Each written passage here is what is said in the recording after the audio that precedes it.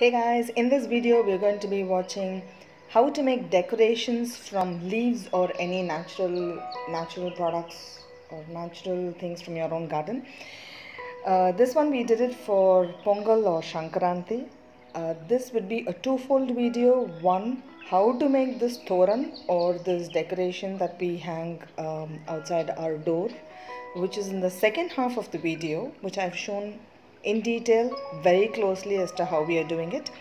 The first half of this video is more uh, on uh, how to engage the child. This can be looked upon as an imitation skill which is very important for children and their development. They need to look, observe and learn. So one, this is an imitation skill. So uh, we took turns in this case as to how I've, um, you know, uh, turned the leaf and pressed it inside out and the child will have to imitate the same.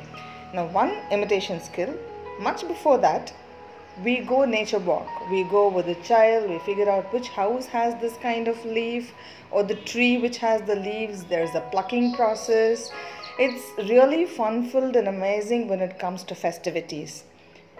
As long as we are engaging children, we will not be seeing behavioral issues coming up in kids. The next most important thing is this is a hand-eye coordination activity.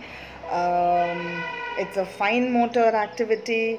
It's also a tactile activity because the leaf, every leaf, um, the corners, the texture, uh, what is behind it, when you feel it, you will see which is lighter color or the lighter shade of the leaf one side, the darker version of the leaf. And there are so many things that we can learn as far as uh, uh, words are concerned, language development is concerned, concepts are concerned, front and back, below and above, below the thread, above the thread. There are so many things that can be learned with just one simple activity like this. Uh, if we go back to our own traditions and roots, there is so many things in which we can engage.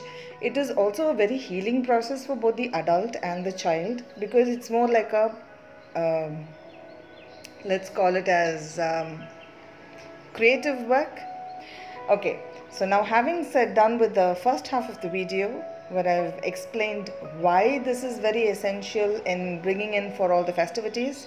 This is the close version I'm showing you. We're going to bring the leaf below the thread and we are going to put the node into the leaf and press it. This is all it is. It's very simple to do.